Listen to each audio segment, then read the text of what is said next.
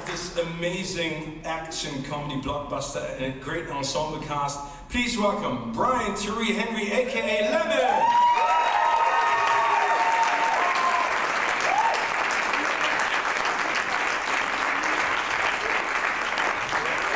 And please take a close look. Here is his twin brother, Aaron Taylor Johnson, aka Ted Green.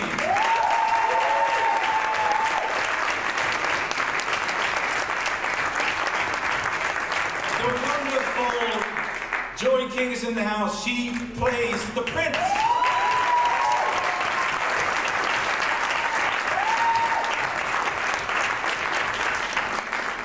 And last but not least, Ladybug, Brad Pitt.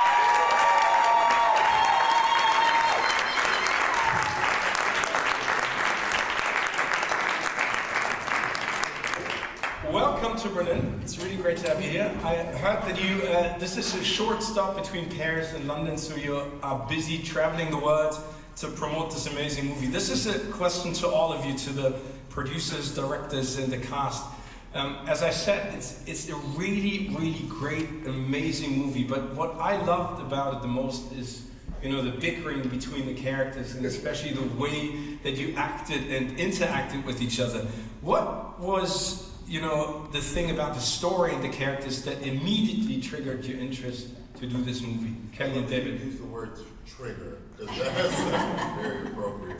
I don't know, I think that all of us just had uh, instant chemistry when we met each other. Uh, it was like instantaneous, you know, this was filmed uh, in 2020, like right in the, the peak fire of the pandemic. So we were in our own little bubbles, and then we got to leave our bubbles to start this bubble. And David Leitch created such a great um, environment for us to go and slap each other around, like figure out what our characters' interactions were going to be on the train. So it was pretty natural. Yeah, it did. It came along, the script came along at that really dark period of a lockdown before we had vaccinations, before we, we didn't know how we were going to get out.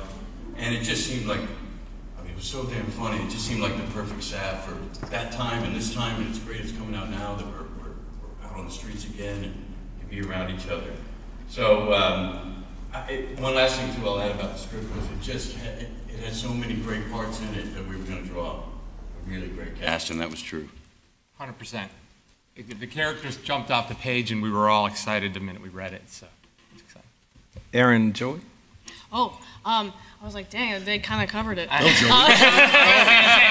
just sitting back. I was Um, like, yep. That sums it up.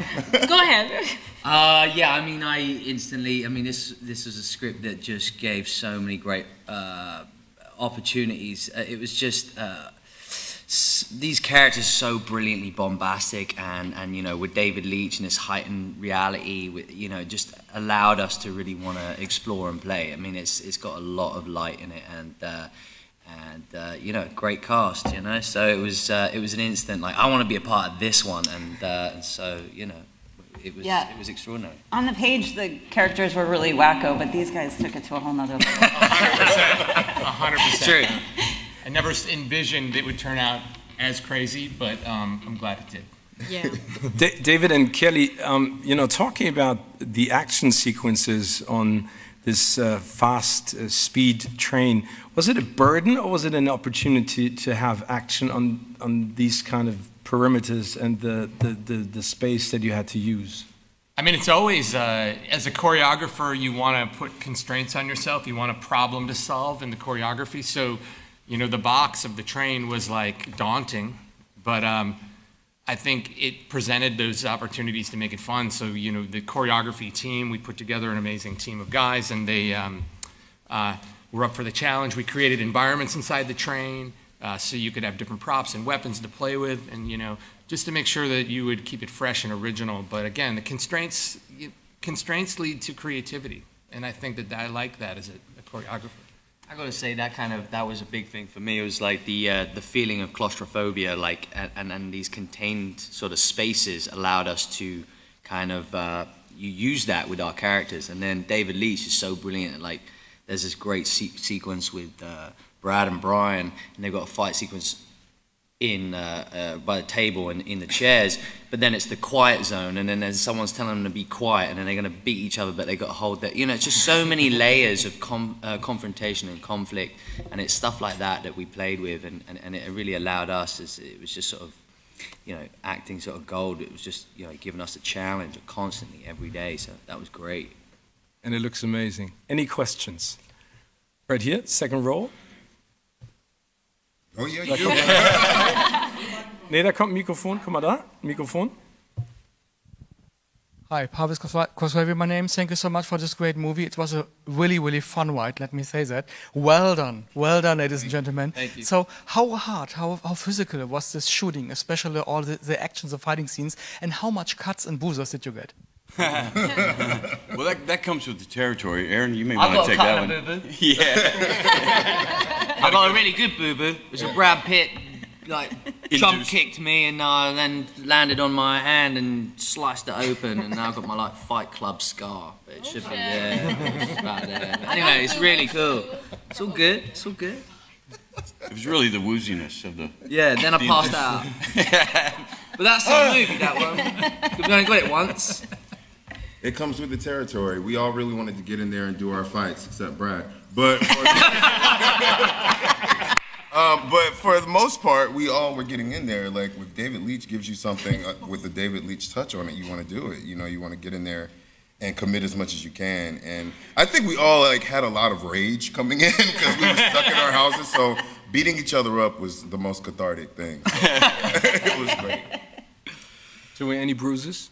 I opened a, uh, a door on my thigh one day on set, um, and I still and I started bleeding, um, and I still have the scar to prove it. Uh, so that's my bullet train scar story. I was fine. no problem. It was fine. Yo, Whatever. Dave, Dave Leitch. Dave comes from the stunt world. Dave was, Dave actually was my stunt double, stuntman for me in '98 for Fight Club. We met on Fight Club. Yep. And he trained me for the for the fights, and it worked so well. We went on to with that pairing till about '04 with a bunch of other films, and then he left me to do other things. Greener. And and now it's come back around for s- full circle. So it's really nice for me to um, to have him as the boss now.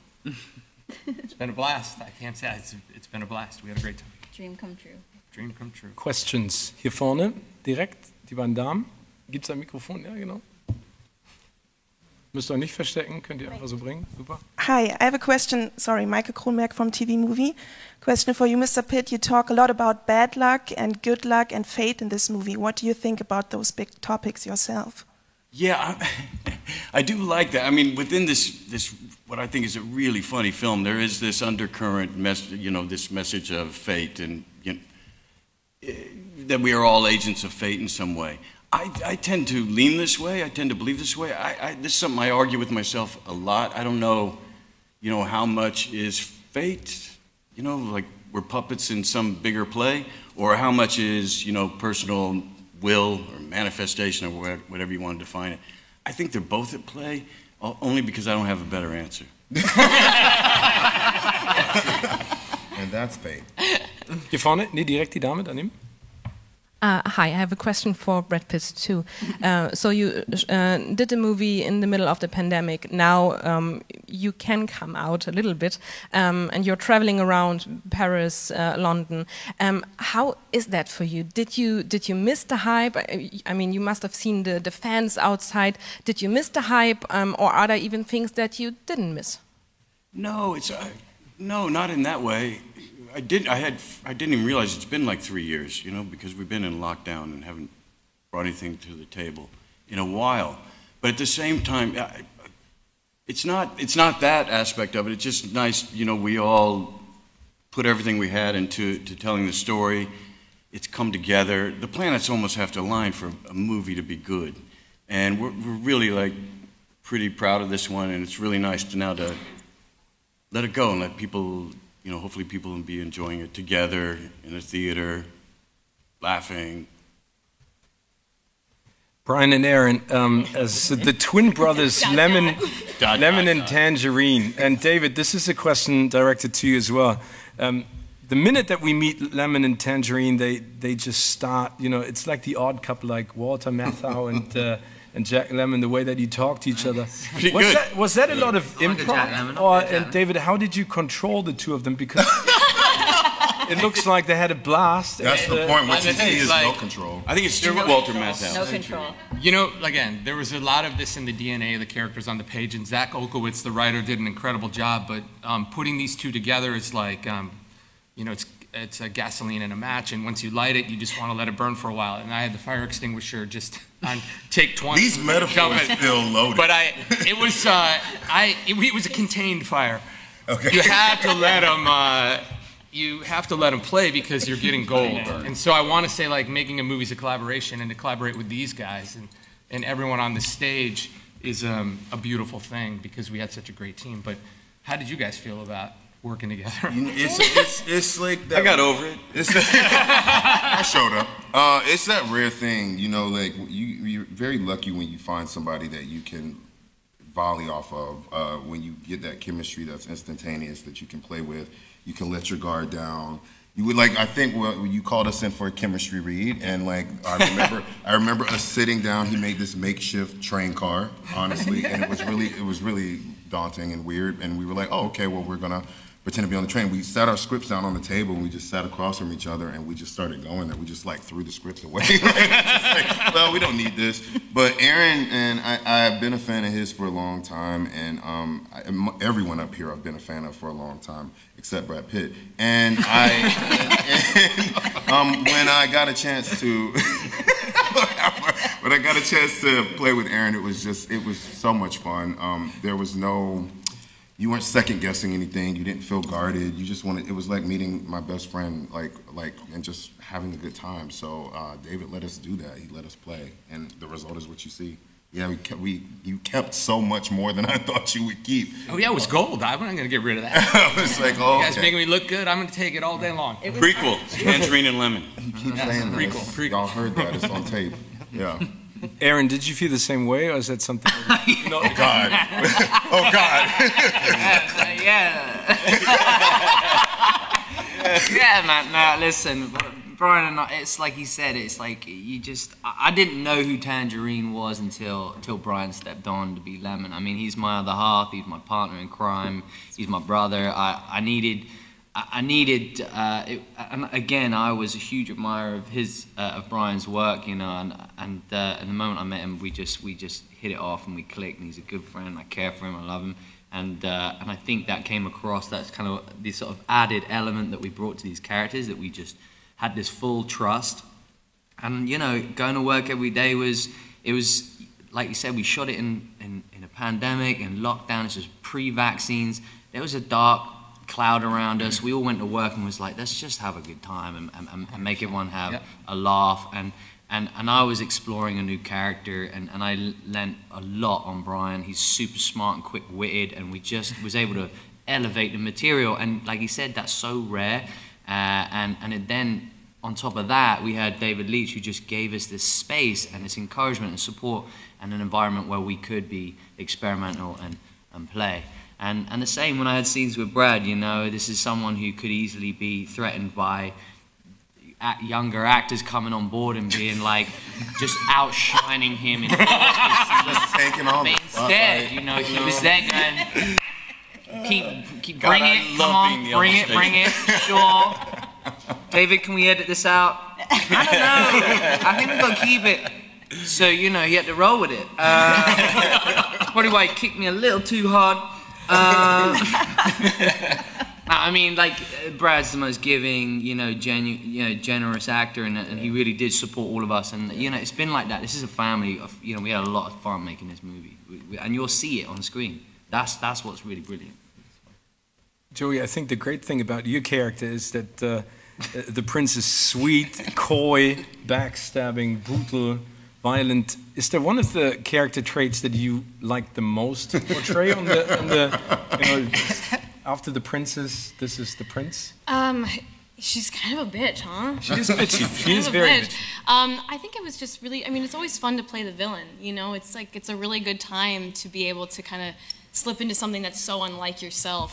Um, and also just play off of these amazing actors here, and they're so funny, and they're, they just elevate every scene. Because my character is so, uh, she's so evil and she's so like sleuthy and conniving and innocent and all this these fun things. Um, but I also had a lot of fun finding the humor in her and building her and also doing dialect training for her. And then I also had to learn a little bit of a new language for her. So it was just like there was a lot of cool things that went into getting to play her. But the best part was when all those things were in place, I got to come on set and just be like with the coolest group of people um, and just like kind of just find her essence with everyone. Kind of like Aaron was saying, he didn't quite know who Tangerine was without his lemon.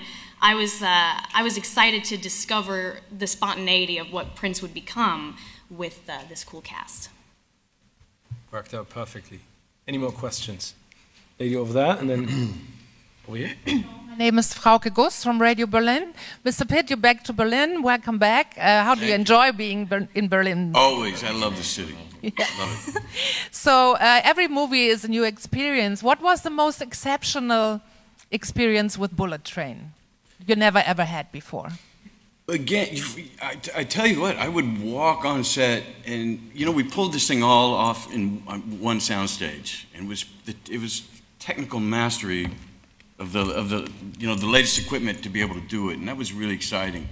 But uh, again, it was just I can't say enough about that time. It was just that time we were all kind of losing it, and and to be able to to you know go to work and just like go have a you know laugh and, and know we're bringing something that that I think is going to be you know a nice thing for for everyone in that time and this time um, was the was really the uh, the prevailing theme and something that always like resonated with me. And but Don't, don't, don't do it. And we got Brad. around that. oh my God. No comment. Question over here. Um, Hi, my name is uh, Leticia. I'm from Cineasten TV. Um, first of all, congratulations for this great, amazing movie. We had a lot of fun yesterday uh, watching it. Um, my first question, uh, not my only question, uh, for, for David.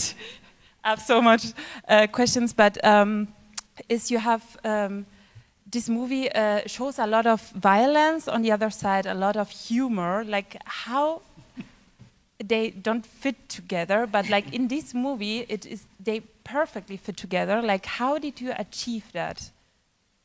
Well, I think it's, I mean, it's always a balance of tone uh, in a movie, and I think that's one of the biggest challenges of any, entering any film is like, you got to land the tone, um, and you, you live and die by that. Um, I think creating the heightened world, like Aaron said earlier, allows us to get away with more things, and so we're in this sort of like comic book world, this escapist fantasy world, and we can play with some of those um, darker ideas, you know, uh, spoiler alert, you know, Tangerine's death. I mean, it's it's graphic, but it's also funny, and I think it's okay to um, laugh at those things. Look, I love action. And Scratch comedy. that. I love the, Scratch that. Scratch that. Can you say that? And then he comes back to life. Yeah, back. the uh, um, look, he it's Didn't need to use me. Like, me under the bus. What? sorry. Anyway, I think it's important in those in, in movies to take people on a ride, and you can have all of those things live inside a film. Yeah, I'll add that, you know, atonality used to be like a dirty word in filmmaking. Dirty. And I think that's one of the beauties of David's filmmaking is, you know, you're high, you're laughing one time, you're crying the next, and you're going on this wild ride in between the whole way through. And it feels like just exhilarating and wild. And I think this movie has that in spades. Yeah, what you're pointing out is, is pretty much Dave's vernacular that, that has been really fun for me to watch develop, you know, from John Wick to Deadpool 2 and now, now to us. So we, we, we, we all signed up up for that. Time for two more questions. All the way in the back. Lady with the glasses. Thanks. Hi, I'm Veronica. Uh, first of all, thank you for this amazing movie. It was so humorous, funny, and you did all a great performance, so thank you. Thank you. Um, except for your own role in character, which one of those did you like the most? And maybe you would have liked to switch into those scenes. For example, oh, I would have liked to do Lemon in those scenes. Like, Don't. Right? Go on, bud. I, I, I personally wanted to see a world where Tangerine and I switched parts just to see what that would look like. I'd forever keep forgetting that I was Tangerine. I kept on thinking I was Lemon. I was like, I'm Lemon, he's Tangerine. And then that was going to be like, we almost played Just that like- for quite a bit. Maybe you're twins. Yeah, like I wanted to see what it would be like to do that, but also, you know, there's some really cool uh, parts in there. The Elder was really dope. And, I, I gotta say, I really love the Prince. I think that was, I think you know, I think what Joey did was killer, man. And uh, she had some fun, fun stuff to play with, like psychological stuff to play with, and manipulations and things like that. That I think was really, really cool. And I, I think you. Did There was great. one moment where I was like, how am I? I was like, I just want to be playing someone else right now. There was this part, no spoilers here, where uh, there was like Thank a. God. Jesus, David, there was a rewrite. There was a rewrite in my trailer one day, and I looked at it, and it was this like monologue, and it was a scene where potentially a couple lines surrounding this monologue that had was new were in a different language, and I texted David, and I was like, "Hey, is this monologue supposed to be in English or the other language?" And he was like, "Oh, the other language would be cool." I was like, "Cool." Ah, okay, it's in 10 days. I don't know this language. So um, in that got it. moment, I started like perfected it. panicking. I was like, oh my God, he just said it would be cool. Like, like, okay, I gotta learn this. I gotta learn it really quickly. So in that moment, I was like, I just wanna be Lemon right now. Oh. I just wanna be Lemon right now. I don't wanna learn this language. But um, that was actually the coolest part, getting to learn, learn that. You crushed it. You did. seriously. Thanks, man. I want everyone to notice that no one said they wanted to be Brad. Lady. Just put a check. All right, we're out with that one. It's okay with that one. I, I it to be Momo Yes. Last question from the lady over there with the white dress and the black dots. Hi, hi, uh, I'm Beatrice, the lady over there from Kino.de. My question is for Brian. What? Yes. Yeah. I'm a massive fan, so. Oh, thank you. You're welcome. Uh, thank you for your work. Uh, I'm assuming that you're now an expert on everything Thomas the Tank, and that's why I wanted to know: Do you, or have you figured out personally? What or have you sorted out the characters or that your co-stars are, the trains that your co-stars are? Yeah, who's the diesel? It's so. And would you like to share? Very clear who the diesel. Oh no. Um, We're all looking at ourselves. just like, um, you know what? When I saw that in the script, I mean, I, like, I still watch cartoons. I'm still a fan of like, you know, um, daytime television. That's like youth. What am I saying? Uh, but either way, uh, I, Bold and Beautiful. I, I, I did I did look into Thomas the Tank Engine because I grew up with it, and like the fact that Lemon is so attached to it, and there's this youthfulness to him that he want, you know, he can tell who people are based on these characters uh, from Thomas the Tank Engine is, you know, I thought was really fun and cool and geeky to do. Uh, we all agreed to get Thomas the Tank Engine tattoos after this. Um, we're that committed. But like, yeah, it was it was fun. That's what I liked about Lemon, like the levity of him, the the childlikeness to him that you can have him be so shut up, Brad. He can be so youthful. He can be so youthful and still a killer at the same time. So, like, but I, I I'm not as well versed in Thomas the Tank Engine. as Oh my God. God, Bradley. Um, yeah, it's all. It's but Thomas the Tank Engine is. Still a fan? No. Yeah, still a fan.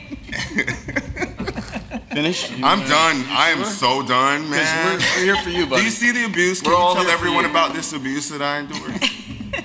Thank you so much. Vielen Dank für die Fragen. Thank you, Kelly. Thank you, Joey, Brian, Brad, and Aaron. Enjoy Berlin. Have a wonderful premiere. Am 4. August startet der Film in den Kinos. Bullet Train.